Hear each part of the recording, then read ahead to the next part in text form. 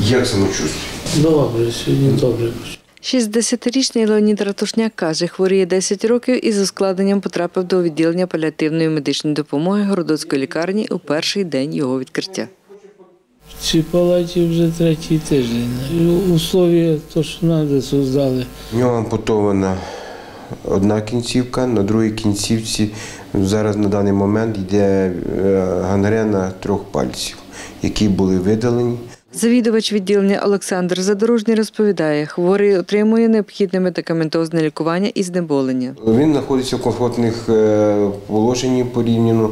Його переводять постійно перев'язки. Функціональне ліжко відповідає йому потребам його. У відділенні надають спеціалізовану медичну допомогу, каже завідувач. Розраховане воно на 20 ліжок. Наразі у ньому перебуває 18 хворих. Раніше ми хворих тримали в інших відділеннях, але згідно нових вимог НЗСУ повинні бути паліативні відділення, де таким хворим стаціонарна медична паліативна допомога повинна була надаватися.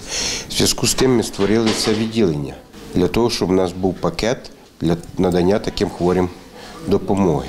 Паліативне відділення у Городоцькій багатопрофільній лікарні відкрили 1 січня цього року, розповідає Олександр Задорожний. Тут, каже, допомагають полегшити симптоми і зменшити страждання хворим на невиліковні недуги. Сюди потрапляють хворі з важкими онкологічними захворюваннями, хронічними серцевою судинною недостатністю, наслідками перенесених інсультів, е, цирозами печінки, захворюваннями нирок.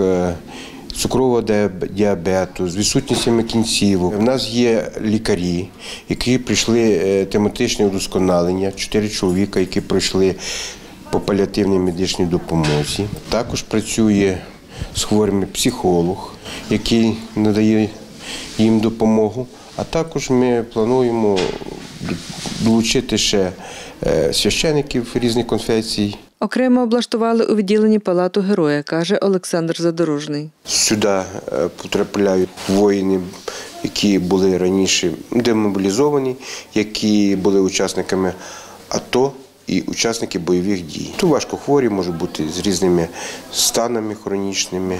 Обладнали відділення за мільйон гривень. Це кошти меценатів, каже їх представник Олександр Шеретюк. Були закуплені спеціальні функціональні ліжка, які допомагають е, лікарям і е, молодшому медичному персоналу для е, догляду за такими важкохворими, які знаходяться в цьому відділенні.